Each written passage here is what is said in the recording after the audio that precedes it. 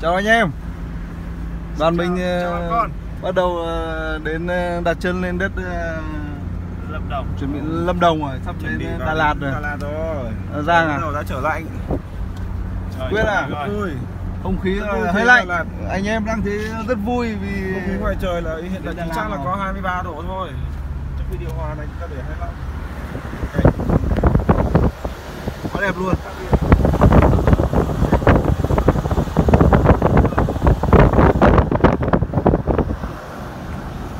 đến Đà Lạt mà đã thấy không khí Đà Lạt rồi.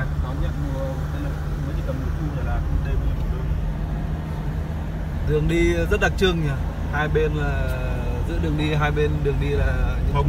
rừng thông. Cao. hai bên. Chắc khoảng ba chục bốn chục mét gì đó. Một bên là núi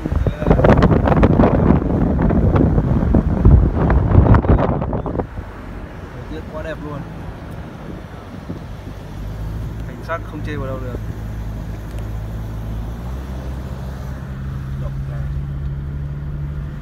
Đường lên ngoèo quanh co uốn lượn. Rất, hay. Hai anh em đi ờ, trải nghiệm trong một ngày và đủ hết luôn từ ờ, xuống biển. núi. lên núi lên rừng. Ngày hôm nay anh thấy là hơi nhiều hơn cái hay.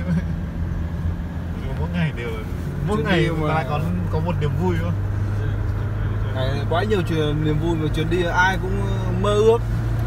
Trong vòng ờ, một ngày mà từ xuống biển này ờ, lên rừng. tắm này ngắm san hô. Ngắm san hô. Đến lên Đâu. cao nguyên. Để Tự cao nguyên. lúc này biết kiếm chỗ nào dừng đâu biết nhá. Rồi, Này là không dừng được dừng xe không an toàn. đó mới đừng đừng dí sát mặt anh để Thảo nào bình tĩnh Đấy,